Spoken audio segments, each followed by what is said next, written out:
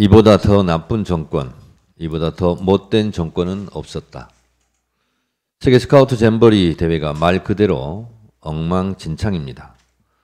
원래 잼버리라는 단어는 아메리카 원주민 언어로 유쾌한 잔치라는 뜻으로 쓰여졌고 1860년대 미국에서 즐겁고 시끌벅적한 모임이란 말입니다. 유쾌하고 시끌벅적해야 할 잼버리 대회가 불쾌하고 온열 환자가 속출해 불만으로 시끌벅적한 국제 망신대회 청소년 재난 체험 대회로 전락했습니다.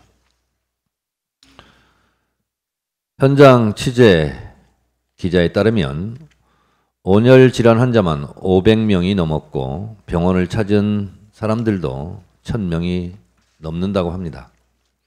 변기는 막혀서 악취가 나고 물 웅덩이에 발생한 모기로 고통받고 10kg짜리 얼음 4덩이를 구입하는데 8만 원가량의 사비를 써야 하고 편의점에는 200m 정도 줄을 서야 한다고 리포트하고 있습니다.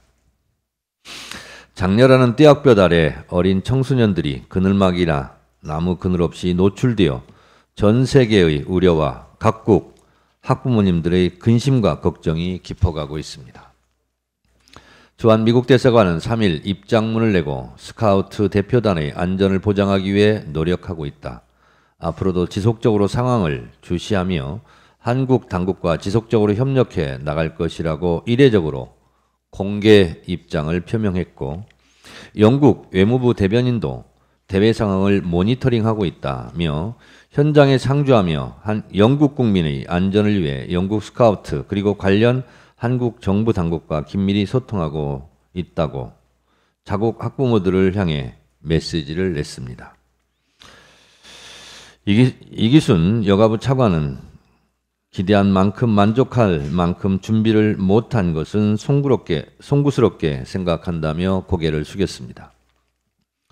송구스럽다는 말로 끝날 사안이 아닙니다. 더 송구한 일이 발생하지 않도록 지금이라도 재난 상황에 준하는 대책을 강구하시기 바랍니다. 외신들도 난리입니다. 대외 축소, 분산 배치, 긴급 자원과 인원을 증원해 안전 보장에 만전을 기해야 할 것입니다. 눈 떠보니 선진국이던 대한민국이 스카우트 잼버리 대회도 못 치르는 후진국형 난민 캠프 같은 재난체험 잼버리 대회에 대한 윤석열 정권의 휘발된 행정력을 한탄합니다.